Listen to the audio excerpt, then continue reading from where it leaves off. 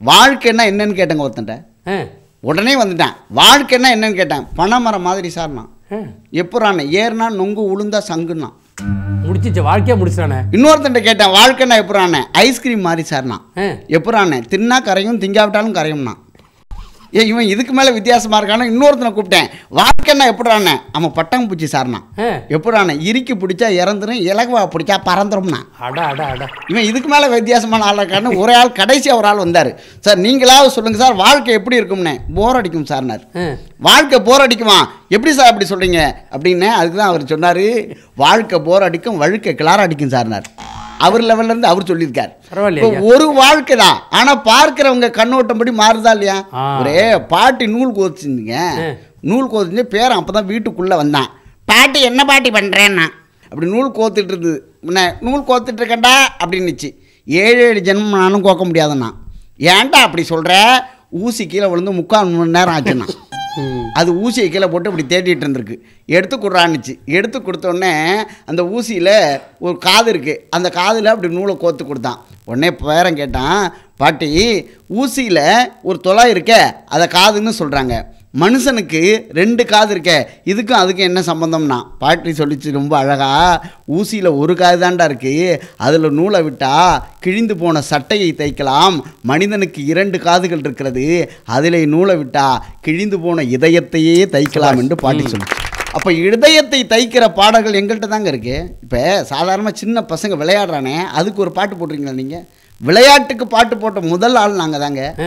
தட்டான் தட்டான் தண்ணிக்குள்ள தவளை ரெண்டும் பொந்துக்குள்ள சூச்சு மாறி குத்தாலத்து காட்டுக்குள்ள குரங்கு எல்லாம் உடையில சூச்சு மாறி பூதவல்லி ரங்கம்மா உள்ள வாடி ரங்கம்மா சூச்சு மாறி ஊள மூக்கு ஆளம்மா உன் புருஷன் யாரம்மா சூச்சு மாறி சூச்சு மாறி சூச்சு மாறி குழந்தைகளோட விளையாட்டை வச்சு பாட்டு போட்டான் பாருங்க. நல்லா இருக்கே இது. பாருங்க எவ்வளோ அழகா இருக்கு. அதுல ஒரு வரி வருது பாருங்க. சங்கரங்கோயில் சப்பரம் நடந்து வருது பாருங்க. சூச்சு மாறி. கொல்ல பக்கம் போகாத. கொட்டி கிடக்கு சாங்கிரி சூச்சு மாறி.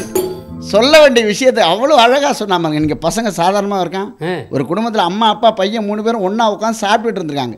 சாப்பிடும்போது அப்பாவுக்கு ஏதாவது பேசினா கோவம் வந்துடும் சாப்பிடும்போது யாருக்குமே கோவம் வரும் சாப்பிடும்போது அப்ப அப்படின்னு இருக்கான். ஏய் சாப்பிடும்போது பேசாரா அப்படின்னு இருக்காரு. மறுபடியும் அப்ப அப்படின்னு இருக்கான். அவர் கோவம் வந்துச்சு. சாப்பிடாம பேசக்கூடாதுன்னு சொல்கிறல்ல கம்முன்னு விட்டான். கொஞ்ச நேரம் கழிச்சு மறுபடியும் அவர் சாப்பிட்டுக்கிட்டு முடிச்சிட்டு என்னடா ஏதோ சொல்ல வந்து என்ன?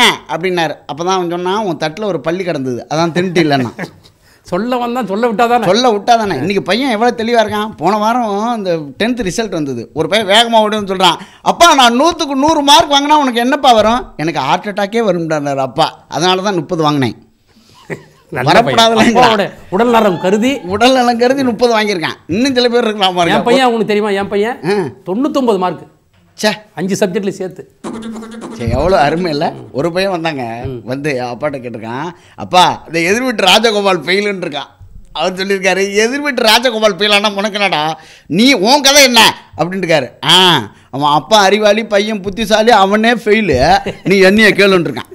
இப்போ இவ்வளவு அறிவாளியாக இருக்கிறானே இவனுக்கு பாட்டு போடணும்ல? இப்போ உலகத்தில் நீங்கள் நல்லா பாருங்கள் சாதாரணமான விஷயம் அவங்க பாட்டுக்கெல்லாம் என்ன பிரச்சனைனா எல்லாத்தையுமே கேள்வி கேட்குறது. ஒரு சந்தேகமாகவே கேட்குறது.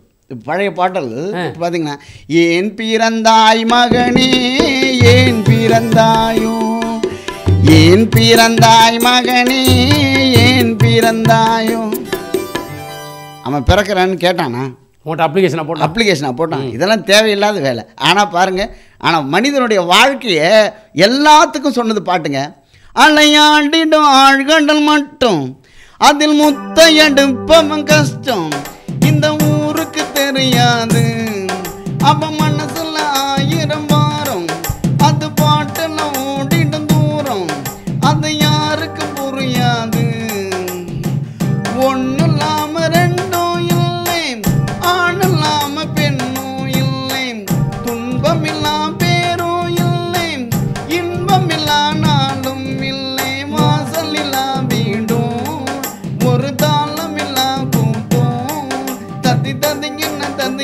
ஒரு தாளம் இல்லா கூட்டம் தத்தி தந்திங்கன்னு தந்திங்கன்னு தந்தைங்கன்னத்தும் அந்த வீட்டுக்கு வீட்டுக்கு வாசம் படி வேணும். ஆ, ஆ, ஆ.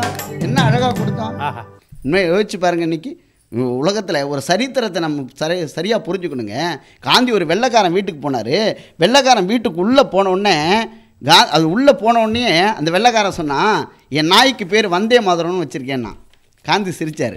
என் நாய்க்கு பேர் வந்தே மாதரன் வச்சுருக்கேன்னா காந்தி சிரித்தார் மறுபடியும் என் நாய்க்கு வந்தே மாதரன் பேர் வச்சுருக்கேன்னா காந்தி சிரித்தார் உங்களுக்கு கோவமே வரலையா?